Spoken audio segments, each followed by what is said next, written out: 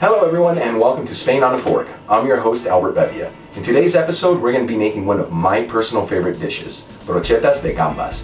These shrimp skewers are loaded with such an amazing flavor and the best part, this is a get in the kitchen, get out of the kitchen recipe because it's so easy to make.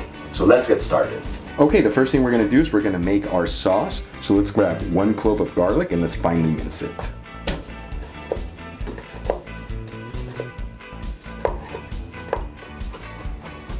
And now let's add our minced garlic to a mortar and pestle and start pounding the garlic. And after you've pounded your garlic for about two minutes, let's go ahead and add two tablespoons of extra virgin Spanish olive oil, half a teaspoon of smoked paprika, and half a teaspoon of sea salt. And let's mix it all together. Okay, now let's assemble our shrimp skewers. I'm using some jumbo shrimp that are already peeled and deveined.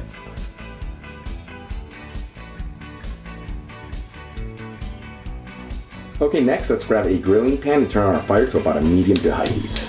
Okay, while our pan is preheating, let's go ahead and grab a grilling brush, grab some of our sauce that we made, and put it on top of the skewers. And once your grilling pan gets really hot, let's go ahead and start adding our shrimp skewers. And after a minute of cooking them, let's go ahead and flip them. And we'll brush them with the remainder of our sauce. And after cooking our shrimp skewers for about two and a half minutes, they look like they are done, so let's go ahead and turn off our fire and let's plate them. We'll garnish it with some fresh parsley and a lemon wedge. And there's our finished plate of brochetas de gambas. If you enjoyed today's video making brochetas de gambas, please subscribe to my channel so you can receive all my future videos. Until the next time, hasta luego.